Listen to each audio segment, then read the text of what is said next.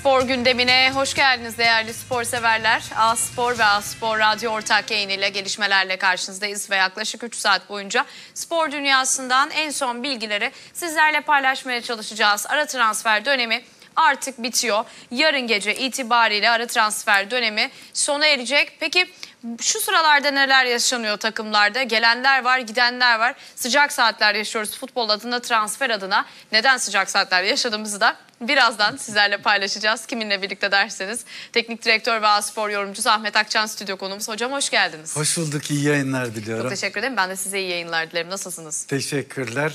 İyi olmaya çalışıyorum şu yüzden. O kadar yoğun bir gündem, yoğun bir program var ki. Evet takımlarımızın hepsi son iki günde şu ana kadar yapmadıkları transferi hem alma hem de satma adına e, yapma gayreti içindeler. Gündemi takip etmekte gerçekten zorlanıyoruz ama keyifli gelişmeler var. O kesin. Hocam bir tahminde bulunmanızı rica edeceğim. Evet. Şimdi yayına girdim ben saat 15. 54 dakikasında Evet. beraber olacağız. Sonrasında ben 18'e kadar devam edeceğim. Sizce kaç kırmızı görür bu yayın? Ee, şu ana kadar oldukça fazla bilgi herhalde ekranlarımızdan verildi. Ama son yarım saat içinde benim içeride serviste aldığım bilgilere göre en azından 3 tane 4 tane kesinlikle gelmesi lazım. 3-4 kırmızı 3 saat. Bu 3 saat için. Evet. 3-6 arası. Hangileri verildi onu bilmiyorum. Ama ben geldiğim anda 3 tane 4 tane kesin kırmızı bilgisi içeride aldım. Peki bakalım neler olacak Evet. 6'ya kadar. Ee, tabii ki biz gelişmeleri takip ediyoruz sevgili seyirciler. Futbolda ara transfer dönemi yarın gece artık kapanıyor. Ee, 4 Ocak'ta başladı ve FIFA kuralları gereği 28 gün süren ara transfer dönemi de artık sona geldik. Takımlar anlaştıkları futbolcularla yarın gece yarısına kadar sözleşme imzalayabilecekler. 2018-2019 sezonu birinci transfer ve tescil dönemi 9 Haziran 31 Ağustos 2018 tarihlerinde gerçekleştirilmişti.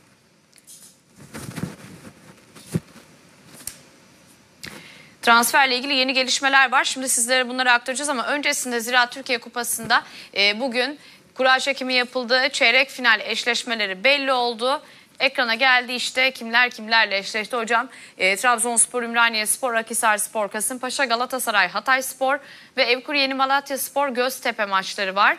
E, eşleşmeler bu şekilde 5-6-7 Şubat İlk maçlar, ikinci maçlarsa 26, 27 ve 28 Şubat tarihinde oynanacak. Tabii bu arada yarı final birinci maçları da söyleyelim. Trabzon, Ümraniye, Galatasaray, Atay, e, Akhisar, Kasımpaşa, Evkur Yeni Malatya Spor, Göztepe mücadelelerinin kazananlarıyla beraber e, öyle bir sıralamayla devam ediyor. Artık bu turdan itibaren biz e, kura çekimi yapmıyoruz. E, takımlar birbirlerini buluyorlar Evet. eşleşmelerle, çapraz eşleşmelerle. Buyurun hocam biz çeyrek final eşleşmelerini değerlendirelim. Hem kura çekimi hem de e, çekimde birbiriyle eşleşen takımlar e, benim kendi adıma çok keyif aldığım eşleşmeler ve bir kura çekimi oldu. Tabii e, her takımın şansı var. Yani bugün bir alt lig olarak görülse de Ümraniye Fenerbahçe'yi Hatay'da lig lideri e, Başakşehir'e eleme. Finali dilenmiş olsa bile e, bugün hem Malatya'nın hem Göztepe'nin hem Akhisar'ın hem Kasımpaşa'nın hatta Hatay ve Ümraniye'nin bile oralarda bulunma bu kupayı kazanma şansları var. Şu ana kadar çok keyifli bir Ziraat Kupası izledik. Bundan sonraki oynanacak bütün maçlarda da hem kalite hem heyecan dorukta olacak. İlk Ee, kırmızı daha- geldi hocam. İlk kırmızı geldi bakalım. Evet. Hoca 4 kırmızı dedi 3 saat içinde. Bakalım ilk kırmızı geldi. Beşiktaş Teknik Direktörü Şenol Güneş'ten bir transfer açıklaması var. Ricardo Quaresma ve Tolga Arslan ayrılıyor dedi. Ee, Şenol Güneş sohbet toplantısında yaptı bu açıklamayı. Ricardo Quaresma ile ilgili dün de yine biz izleyicilerimizle paylaşmıştık. Yolların ayrıldığını resmi açıklamayı bekliyoruz demiştik.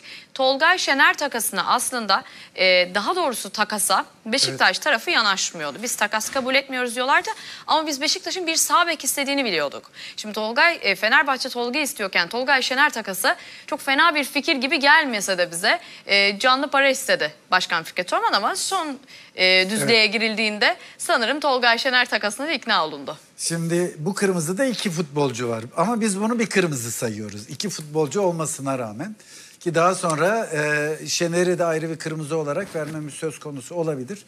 Şimdi e, evet Tolga Tolga'nın ayrılması gayet doğal. Şenol Hoca ile e, Tolga arasındaki gelişmeler sonrası bu ayrılığı hepimiz bekliyorduk. Tolga'nın Fenerbahçe'ye gidiyor olması da hem Türk futbolu için hem Tolga için hem iki kulüp için en doğrusu en hayırlısı olacak diye düşünenlerdenim ben.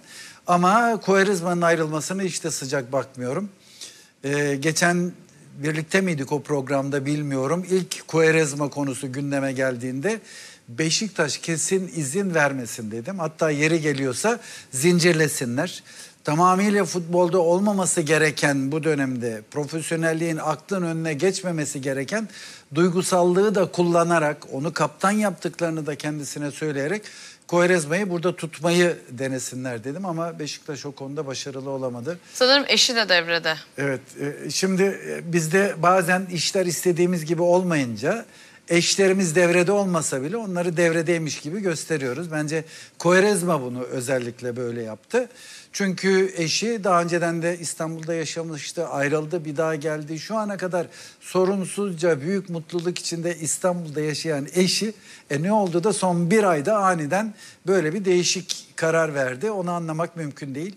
Bence eşi devrede değil. Başka nedenlerden dolayı Koyrezma kendisi gitmeyi tercih ediyor. Hocam- Ama Beşiktaş adına kesinlikle bence bir kayıp.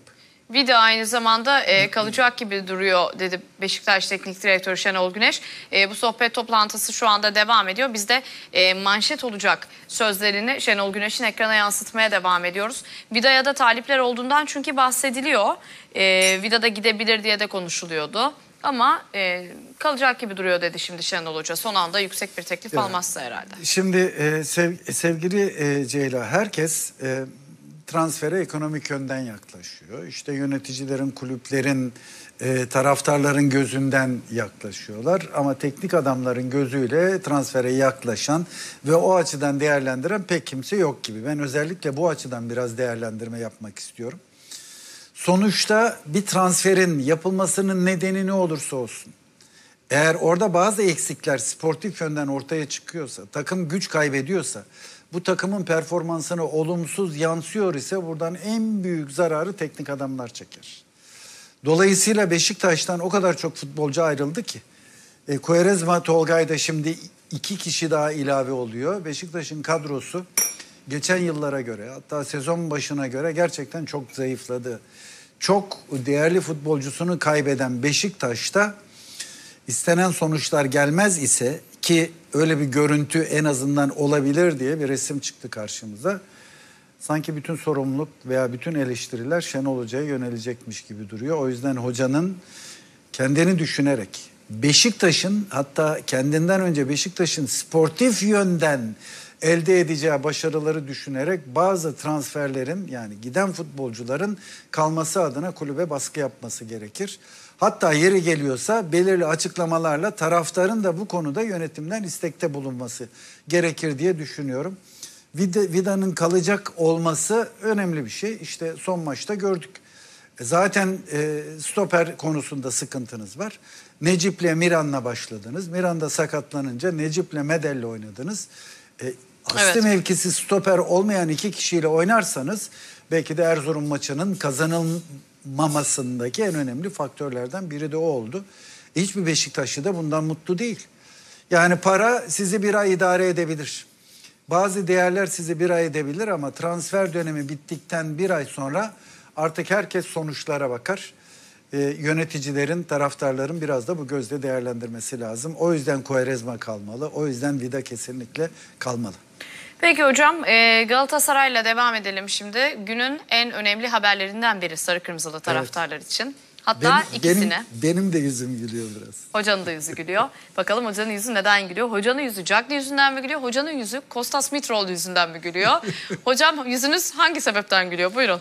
Bakın ikinciyi söylediğinizde biraz yüzümün gülmesi azal, Kahkaha oldu bence. Azaldı mı? Azal, azaldı, Bana da kahkaha azaldı gibi gibi.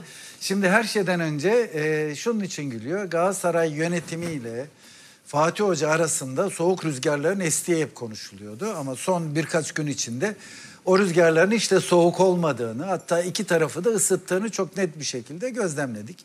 Fatih Hoca'nın hem Göztepe maçı sonrası hem de dünkü Bolu maçı sonrası açıklamaları da vücut dili de son derece olumluydu. Artık hoca da işte o beklenen santrofor kesinlikle gelecek. Hatta belki bir ikincisi olacak. Hocam Hatta özür dilerim bir izleyicimiz demiş ki Ahmet hocam gülüyor Galatasaray için kaplar geliyor demiş. evet Zaten Siz bekliyoruz. bunu demeden önce demiş yani. Ben de görmeden sordum mesela hocam hangisi için Ee, yüzünüz güldü Zaten diye. bekliyoruz. Ee, zararı yok. Kap biraz geç de gelse, yarın da gelse önemli olan futbolcuların gelmesi.